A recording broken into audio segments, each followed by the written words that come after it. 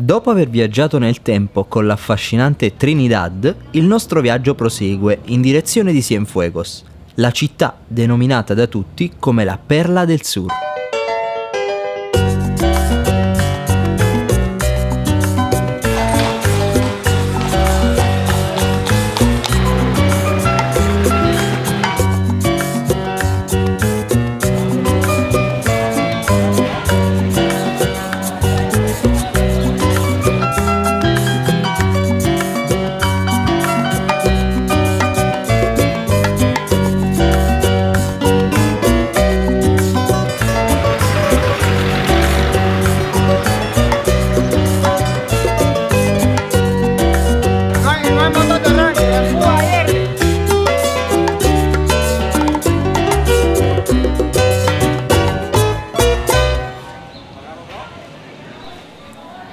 Se Cuba avesse una Parigi, sicuramente sarebbe Cienfuegos.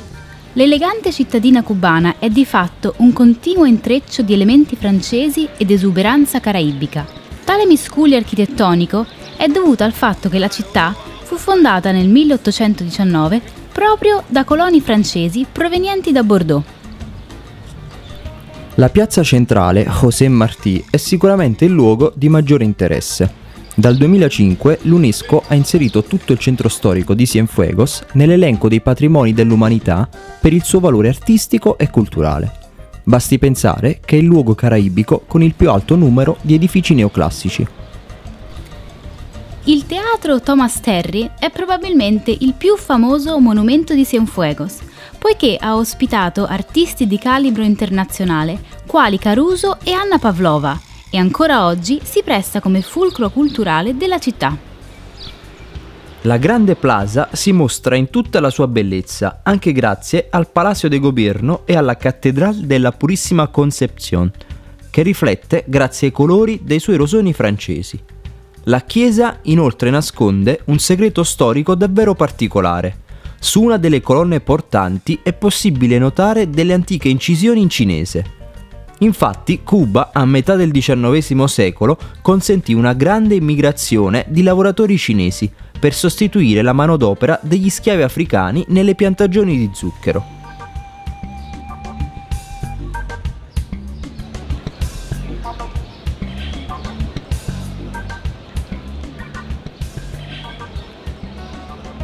A fare da cornice alla piazza Martì ritroviamo tantissimi palazzi dipinti di nuova vita, come il neoclassico Palazzo Ferrer, un magnifico lavoro di architettura in cui domina l'azzurro e la qualità dei lavori in marmo.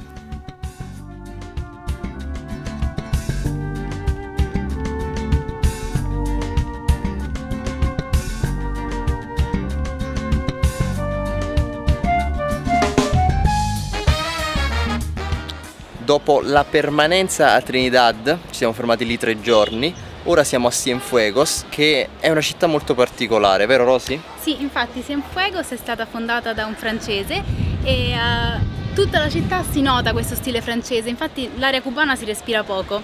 Adesso andiamo un po' a scoprirla e la cosa carina di Cienfuegos è che c'ha la sua laguna e con una barchetta si arriva al castello, quindi adesso andiamo a prenderci la barca e andiamo a vedere il castello di Cienfuegos.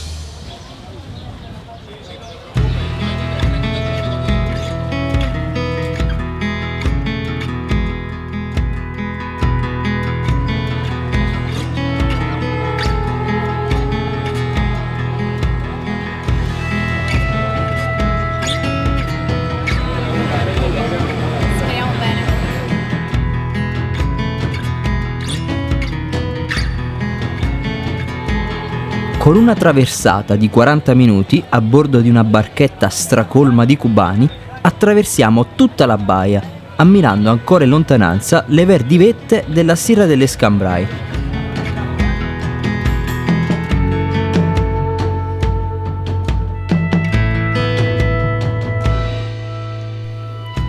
Costruito strategicamente alla bocca della baia di Cienfuegos contro le incursioni dei pirati, il Castillo de Nuestra Señora de Los Angeles de Agua si presenta ancora oggi in ottime condizioni, con la sua torre di avvistamento, il fossato e un ponte elevatoio ancora in funzione.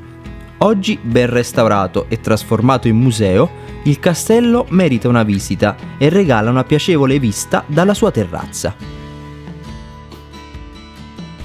Il museo rivela anche un altro aspetto della storia cubana più segreta, ovvero il tentativo di nuclearizzazione. Qui a Cuba venne stilato un piano che prevedeva la costruzione della più grande base nucleare del Latino America, proprio dietro il castello nella baia di Cienfuegos, con il supporto dell'Unione Sovietica. Una vera e propria città nucleare che è andata presto in abbandono con il crollo sovietico nel 1992, lasciando oggi nient'altro che gli scheletri della guerra fredda.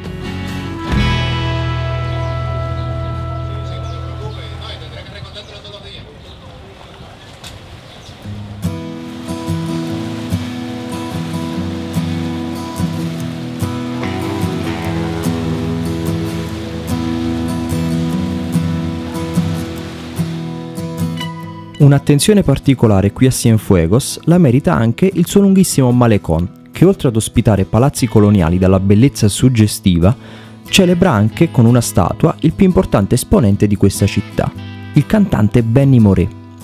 Nato a Cienfuegos nel Novecento, Moré divenne presto il cantante cubano per antonomasia e grazie al suo estro musicale dominava la scena del bolero, son, mambo e guarachà. Una figura che abbiamo conosciuto anche grazie a Valodia, la cubana che ci ha ospitato e dalla quale abbiamo chiesto di descrivere cosa significhi per lei ospitare viaggiatori come noi. Del turista aprendemos mucho. Cada uno aporta su poquito. Aporta la economía de su país, aporta las costumbres de su país, aporta el idioma. Es conversar con el turista. Conversar con el turista no es entregar una llave fríamente, no es conversar con el turista, es aprender de todo lo que trae. Y ese turista que viene a ver la ciudad, a conocer la historia de la ciudad, a conocer Cuba como su gente, es aconsejable 100%. Gracias, Valodia.